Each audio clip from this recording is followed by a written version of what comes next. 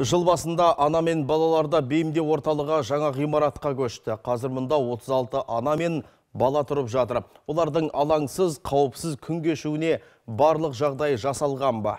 Сюжеттен көрейік.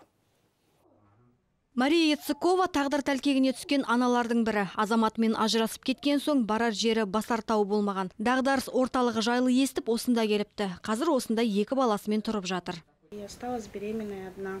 Екі қабат боп жалғыз қалып қойдым. Басында құрбыларыма бардым, сосын осы орталық жайлы естіп келдім. Мұнда жақсы жағдайдың бәрі үйдегідей жасалған. Әр баланың жататын орны бар, жуынатын жер бар. Кішкене қызым өссін, жұмысқа орналасам. Ну, считай, мы живем, у нас все свое, как дома. Орталыққа күні кеше Жанна есімді келіншекте келді. Ол мүмкіндігі шектеулі бала тәрбиелеп отыр. Отбасында зорлық зомбылық көрген әйел жолдасымен ажырасып кеткен. домашнее насилие. Үйде ұрыс керіс болатын күйеуім қан жосағып қол көтеретін. Міне қорқынышымды жеңіп кетіп қалдым. Балам да мүгедек. Маған оған қандай жаза болатыны маңызды емес, енді маған тиіспесе болды. Иә, күн сайын тұрмыстық зорлық зомбылықтан отбасында қанша ана мен бала зардап шегеді. Бірі күресті бастап кетсе, бірі проблеманы қоғам алдында көрсетуге ұялады. Жыл басынан бері қалалық полиция басқармасына 28 әйел зорлық зомбылық бойынша арыз жазған. Олардың жетеуі осы орталыққа орналастырылды. Өзіміздің жаңағы полиция басқармасына келіп шағымданатын әйел азаматшалар саны артып жетіледі бүгінгі таңда деп айтуға болады. Мысалға күніне үш төрт әйел азаматша мысалға қоңырау шалып жаңағыдай көмек сұрайтын күндер болады. Ал сенбі жексенбі жаңағы жұма күндері бұл 15-20-ға дейін барады бұндай көмек сұрау.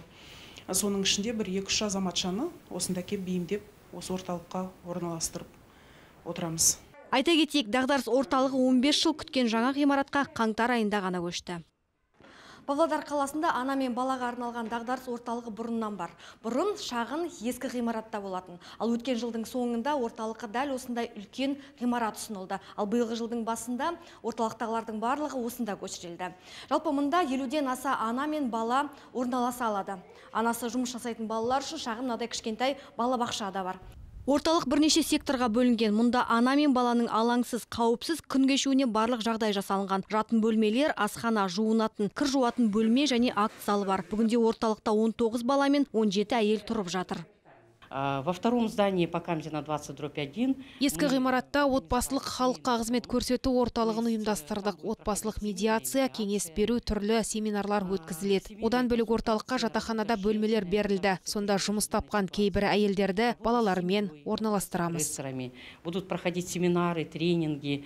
Біріккен ұлттар ұйымының ақпаратынша елімізде жыл сайын отбасылық зорлық зомбылықтың құрбаны болған 400 әйел қайтыс болады. Ең сорақысы жәбірленген әйелдердің 70 пайызы бұрынғы өміріне қайта оралады. Нәтижесі шайқалған шаңырақ, сан соққан әйел, бұзылған бала психикасы. Бірақ бәрін өзгертуге ешқашан кеш емес. Самал Қалиқызы, Юрий Белевский, ертіс ақпарат.